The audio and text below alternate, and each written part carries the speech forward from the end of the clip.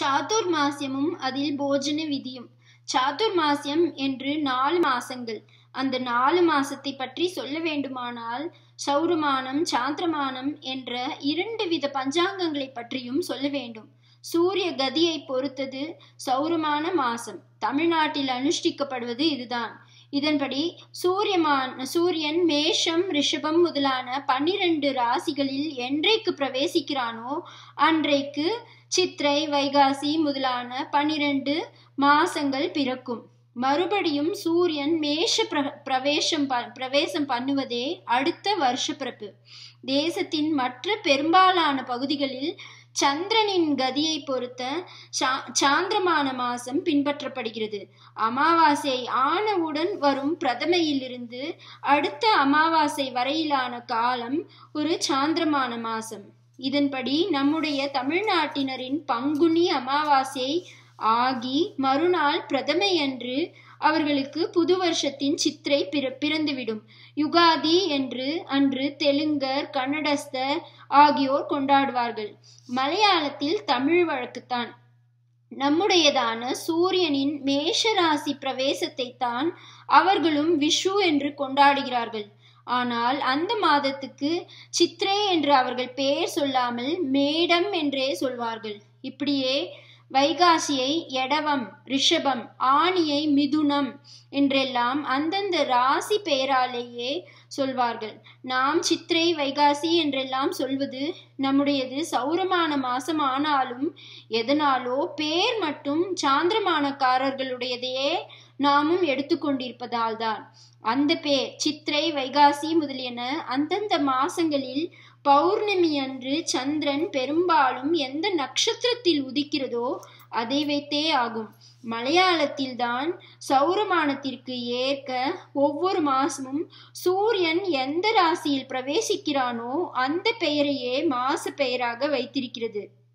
ஆனால் அங்கே மேடம் நம்முடைய சித்திரை வருஷ பிறப்பு இல்லை. சிங்கம் என்கிற நம் ஆவணி மாசம்தான் வருஷ பிறப்பு. நமக்கு சித்திரை அமாவாசை ஆன உடனேயே சாந்திரமானபடி வைகாசி பிறந்துவிடும். இப்படியே நம் ஒவ்வொரு அமாவாசையும் ஆனவுடன் வரும் பிரதமையில் சாந்திரமானத்தின் அடுத்த மாசம் பிறந்துவிடும். அந்த கணக்கின்படி ஒரு வளர்பிறையும் ஒரு தேர்பிறையும் சேர்ந்தால் ஒரு மாசம். இது வாஸ்தவத்தில் முப்பது நாட்களுக்கு கொஞ்சம் குறைச்சல். ஆனதால் அதனால் சாந்திரமானபடி பன்னிரண்டு மாசமும் சேர்ந்து முன்னூத்தி அறுபது நாள் வராது. ஆனால் நியாயமாக முன்னூத்தி அறுபத்தஞ்சே கால் நாள் சேர்ந்தது தானே ஒரு வருஷம். அதாவது பூமி சூரியனை சுற்றி வருவதற்கான காலம்.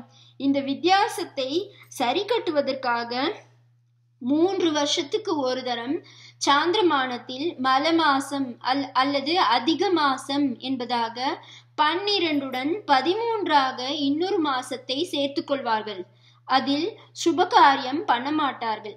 சாத்துர் மாசியத்தை பற்றி சொல்வதற்காக இந்த சௌரமான சாந்திரமான பேச்சு வந்தது.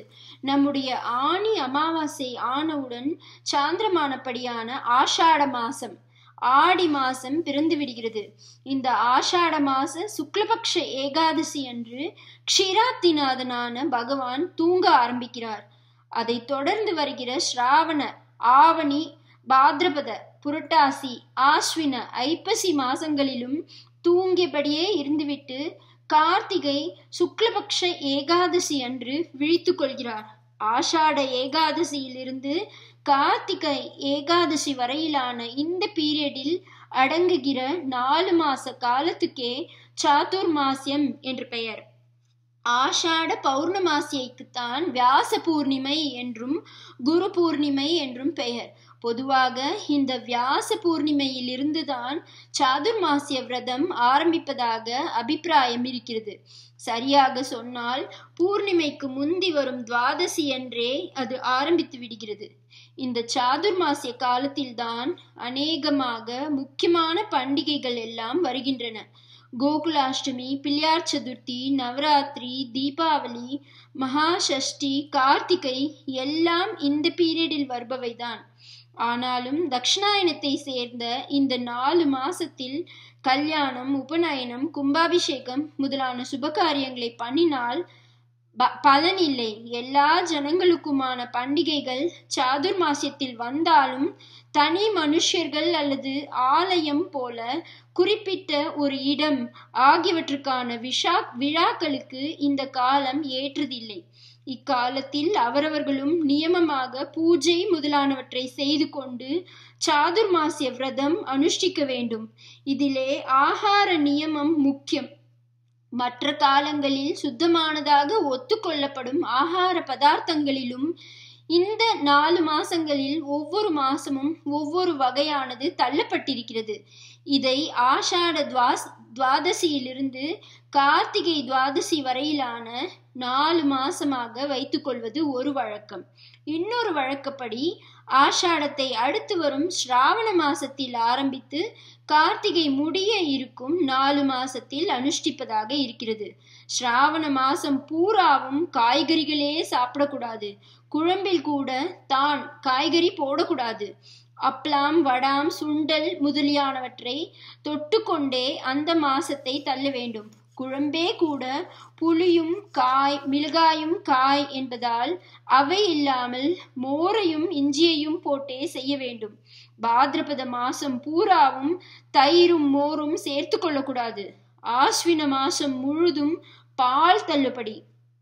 கார்த்திகை மாசத்தில் நெய்யும் உளுந்து துவரை கடலை முதலான எந்த பருப்பு தினுசும் சாப்பிடக்கூடாது. சாதம் அல்லது சப்பாத்தியுடன் வெறுமனே காய்கறிகளை மட்டும் வேக வைத்து சாப்பிடலாம். மாதவர்கள் தான் தற்போது ஓரளவு இந்த சாதுர்மாசிய ஆகார நியமத்தை வைத்துக் கொண்டிருக்கிறார்கள். தினப்படி அகத்து சமையல் இதன்படி செய்யாவிட்டாலும் சாதுர்மாசியத்தில் ஸ்ராத்தம் வந்தால் அந்த ஸ்ரார்த்த போஜனத்தில் அவர்கள் சாதுர்மாசிய நியாயப்படி தள்ள வேண்டியதை தள்ளிவிடுகிறார்கள். மற்றவர்கள் எதையும் கவனிப்பதில்லை. ஆச்சார சம்பிரதாயத்தில் வந்துள்ள சந்நியாசிகள் மட்டும் நியமத்தை அனுசரிக்கிறோம். ஆனால் சந்நியாசம் வாங்கிக் கொள்வதும் வர வர சாஸ்திர பிரகாரம் இல்லாமல் எப்படியோ போய்க்கொண்டிருக்கிறது தெய்வத்தின் குரல் இரண்டாம் பகுதியில் சிக்ஷை வேதத்தின் மூக்கு என்ற உரையில் மாத பெயர்கள் என்ற உட்பிரிவு பார்க்க.